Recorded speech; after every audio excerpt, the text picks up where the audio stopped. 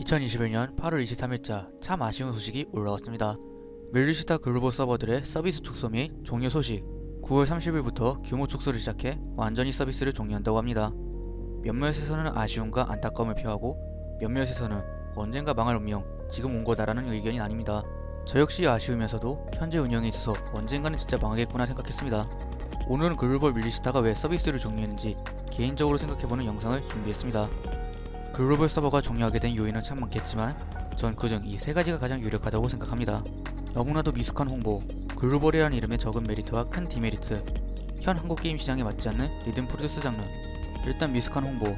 초기 글로벌 서버가 출시되었을 때가 밀리마스 6주 라이브 페어리 스타즈 당시 그때는 홍보 포스터를 준비하고 전용 PV 영상에 관련 게임 영상까지 아이마스 유튜브 채널에 업로드했으며 그 힘든 시기에 내한까지 하면서 열심히 홍보해 주었고 글로벌 서버 유저들을 위한 특별한 방송도 계속 진행해 주었습니다. 거기다 찐 1주년 당시에는 유저들과 소통하기 위해 직접 코미너 형님이 방송까지 띄워주셨죠. 근데 그게 20년 찐 1주가 끝나고 나서 뚝 끊기게 되었습니다. 일단 가장 큰 요인은 코로나로 인해 일본 본토 서버도 제대로 된 방송이나 운영 활동이 힘드니 어느 순간 자연스럽게 글로벌에 대한 홍보가 줄어들었을 것입니다. 결국 일반 유저들에게 홍보가 되지 못하고 그저 아이마스를 아는 유저들 혹은 게임은 알았지만 언어의 장벽에 막혀서 고민하다 글섭으로 플레이하게 된 유저들만 남게 되었지만 후자는 2년 차이에 답답해하거나 일섭에 흥미가 생겨 거의 본토 넘어갔죠. 두 번째, 메리트와 demerit. 글로벌 서버인 만큼 그 서버가 가진 메리트가 있어야 하는데 그 메리트가 적고 demerit만 넘친다는 것입니다. 초기 글로벌 서버의 메리트는 전용 SSR, 전용 의상, 번역이 된 언어라는 메리트 딱 세 가지였습니다. 하지만 전용 SSR은 코토하 치하야, 미키 이 세 개뿐이며 전용 의상인 글로리어스 트리니티도 결국 본섭에 출시하게 되면서 메리트가 사라졌습니다. 결국 남은 메리트는 번역이지만 그 번역도 말이 많고 탈이 많은 상황 결국 2년이라는 느린 term의 demerit 본섭하고 똑같이 따라간다는 loose한 상황만 남게 되었습니다. 메리트 없이 2년 느린 term을 경험할 바에는 차라리 본섭으로 넘어가는 게 현명하다고 판단에 서게 될 것입니다.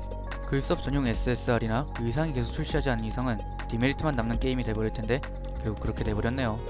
마지막 한국 게임 시장에 맞지 않는 리듬 produce 지금 한국 시장에도 미소녀 장르의 게임은 많습니다. 아이마스 역시 미소녀 장르 측에 속하기에 흥행할 것이라고 판단하겠지만 현 미소녀 장르 게임들을 보면 수집형 RPG 형태의 자동 사냥과 pay to win이라는 시스템이 작용하고 있습니다.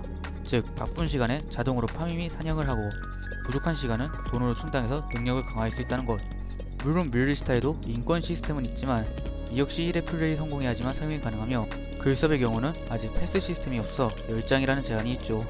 현 바쁜 사회인들은 게임을 해도 오랫동안 붙잡을 수 없기에 간단한 모바일 게임, 자동으로 사냥하며 pay to win이 가능한 게임들을 많이 애용할 것입니다. 아닌 사람도 있지만 대부분이 그렇겠죠? 그런 한국 시장의 리듬 produce는 많이 maniac하며 투자할 시간이 적을 것입니다. 애초에 리듬 게임이라는 장르가 pay to win이 거의 불가능하고 실력을 엄청 요구하는 게임이다 보니 그런 부분에서 진입 장벽이 높았을 것입니다.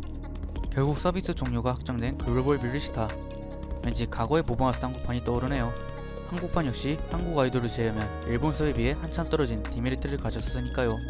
영상 마치기 전 이 사진은 섭종 공지가 올라온 후의 매출 순위와 레비퍼 이벤트 유저 랭킹입니다. 확실히 아는 사람만 하는 사람만 한다고 생각이 드는 위치네요.